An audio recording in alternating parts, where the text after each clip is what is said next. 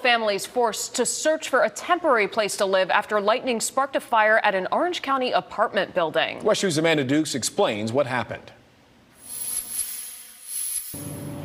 A lightning strike set fire to several apartments here at the Osprey Links at Hunters Creek on Tuesday night.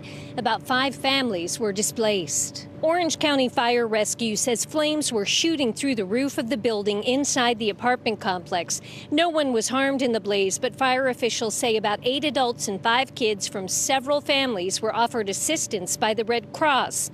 Fire crews returned to the scene Wednesday, watching for hot spots, as cleanup crews began the work of dealing with all the water damage and repairs. In Orange County, Amanda Dukes, WESH 2 News. There's no word yet on how long the displaced families will be out of their homes.